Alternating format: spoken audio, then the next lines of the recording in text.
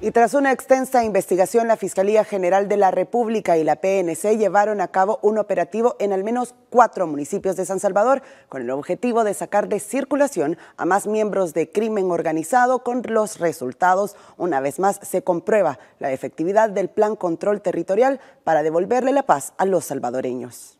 ¡Policía!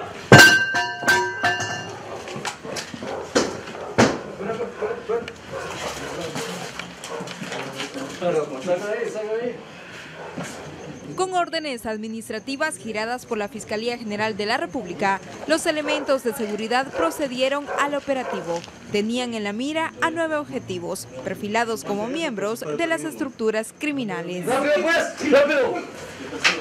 ¡Rápido, pues! ¡Rápido pues! El operativo se llevó a cabo en varias colonias, caseríos y cantones de San Salvador, San Martín, Ilopango y Soyapango. Estos sujetos eh, serán procesados por los delitos de extorsión agravada, privación de libertad y limitación ilegal a la libertad de circulación en perjuicio de una víctima que goza de régimen de protección. Entre los detenidos también se encuentra un palabrero y otros miembros que atemorizaban a los comerciantes y a la población en general de esas zonas.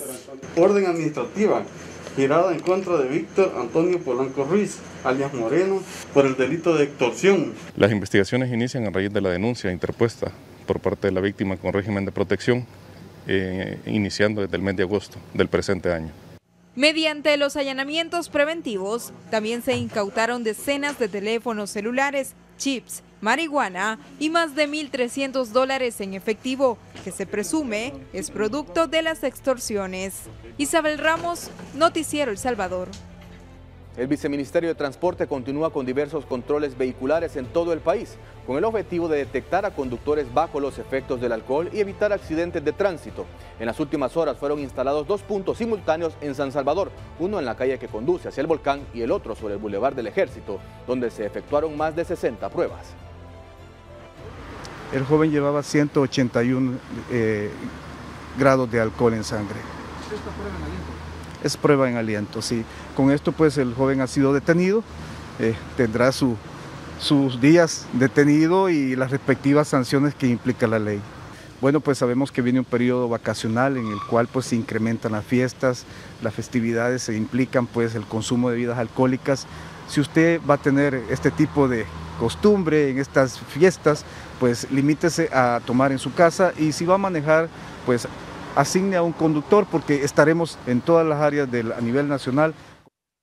Y la Defensoría del Consumidor forma parte de las instituciones que participan en el Plan Navidad 2021 y este día iniciaron con el proceso de verificaciones en entidades comerciales con el fin de evitar abusos que afecten a los salvadoreños.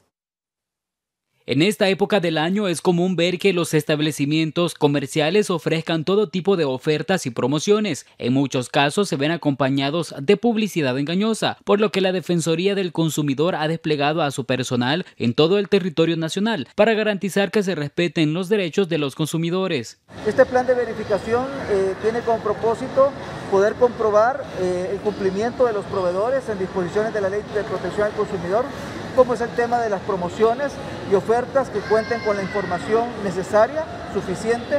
También el tema de publicidad, que la publicidad sea clara, oportuna y precisa. Serán más de 200 elementos de la Defensoría del Consumidor que se ubicarán en 33 puntos en todo el país para verificar los establecimientos comerciales en 75 jornadas que incluye los fines de semana. Las balanzas como tal estamos nosotros comprobando que cuenten con todos los permisos y este, los, el etiquetado necesario para poder funcionar y también estaremos realizando verificación de etiquetado en eficiencia energética en el tema de refrigeradoras y aires acondicionados. La población agradeció al gobierno este tipo de acciones ya que protege el bolsillo de los salvadoreños. Es interesante porque a nosotros los consumidores pues nos da la oportunidad de consultar, ¿verdad? además en esta temporada las empresas, los almacenes, todo la Defensoría del Consumidor hace un llamado a los salvadoreños a denunciar cualquier tipo de abusos por parte de los establecimientos comerciales a través de los 50 canales de atención a los usuarios. Edgar García, Noticiero El Salvador.